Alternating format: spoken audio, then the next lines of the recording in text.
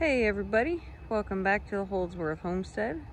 It is February 27th, 2023. Just wanted to do a real quick update video, kind of going from winter into spring. It's getting a little bit warmer, still got some weather in the 50s, but now we've kind of passed potentials of 30s and 40s.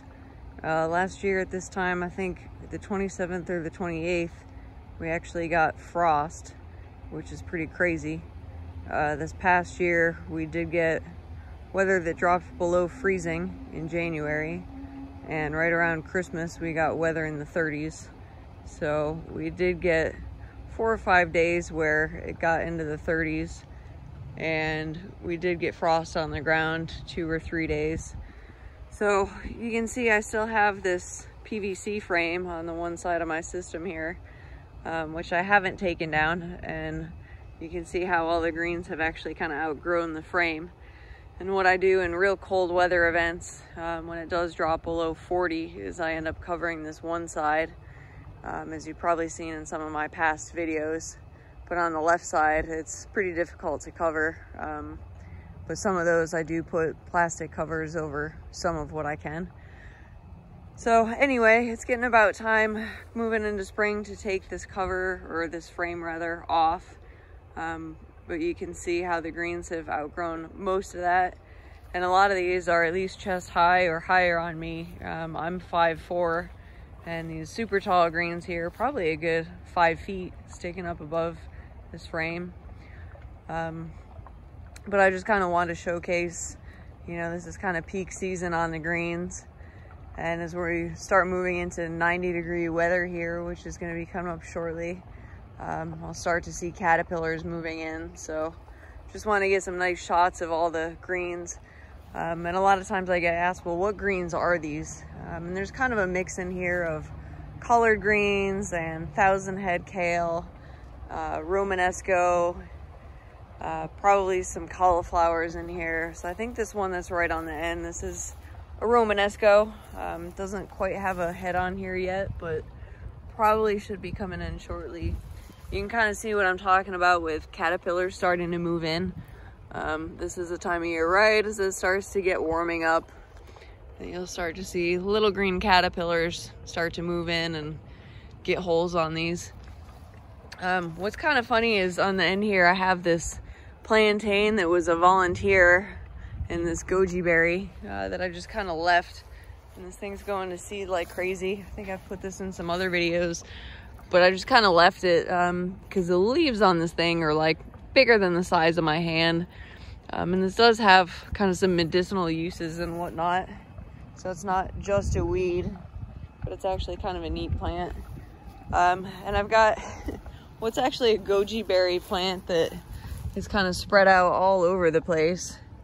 Um, and maybe somewhere underneath here, I don't know, there might be some goji berries.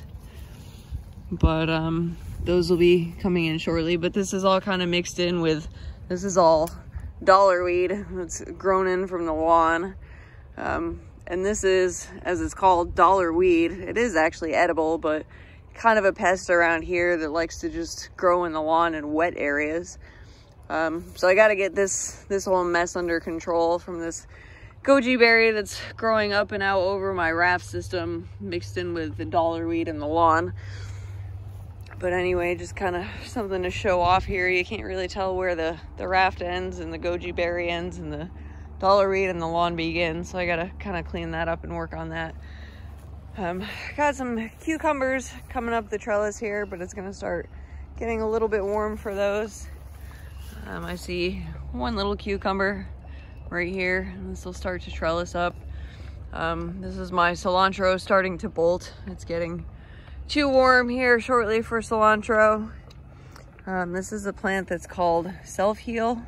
It's got some herbal medicinal properties and you can see some caterpillars, caterpillar holes in this guy.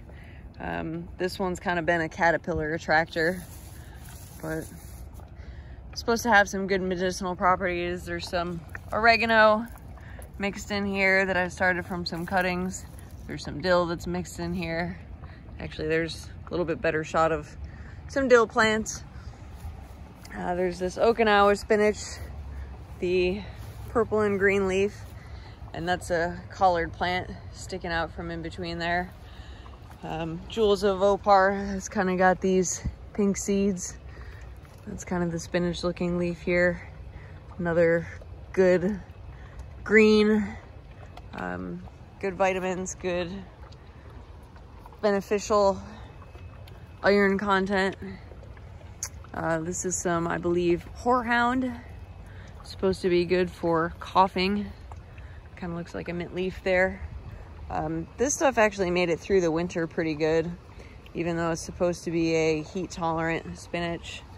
Um, and then some Suriname spinach over here. That's another heat tolerant one.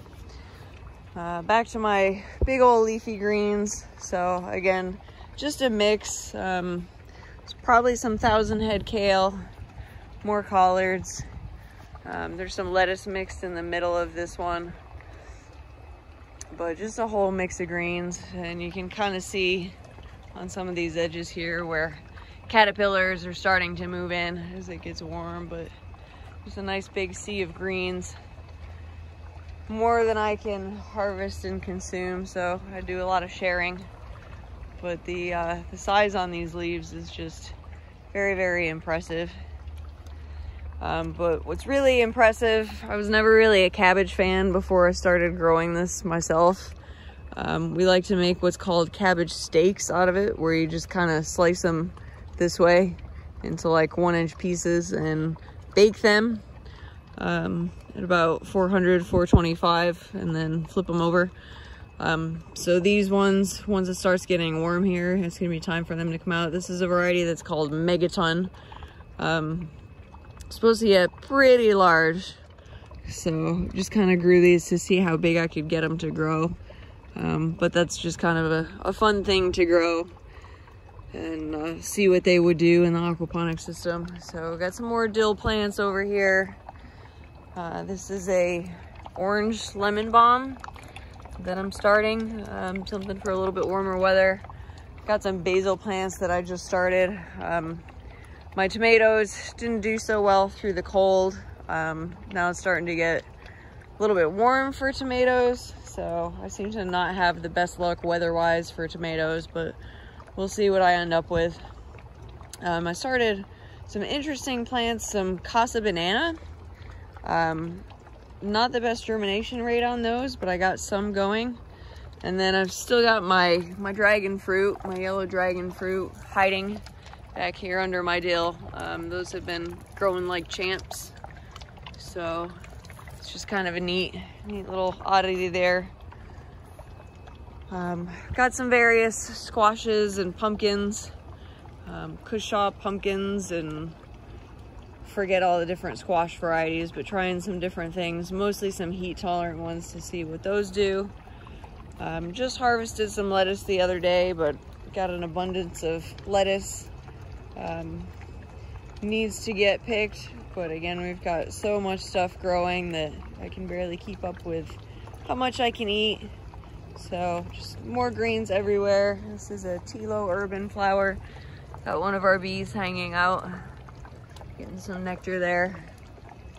Um, there's there's a few little squash plants up here starting to grow. So that's cool. Got some cat's claw herb up here.